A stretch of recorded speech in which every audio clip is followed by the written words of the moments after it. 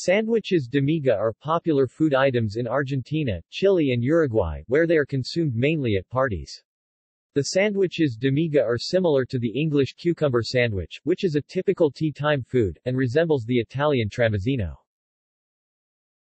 The Academia Argentina de Gastronomia suggests that the sandwiches may have been introduced into Argentina by immigrants from northern Italy.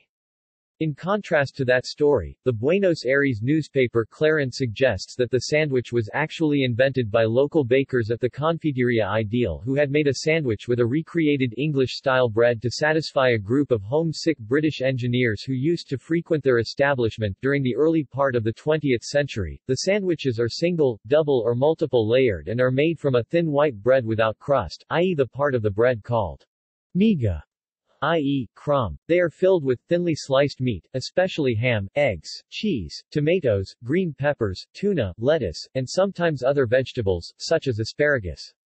Butter is another important ingredient. They can be toasted or untoasted. Instead of making them from scratch, Argentines usually buy them at a local bakery. See also List of sandwiches. Cuisine of Argentina. Crustless bread. List of sandwiches. References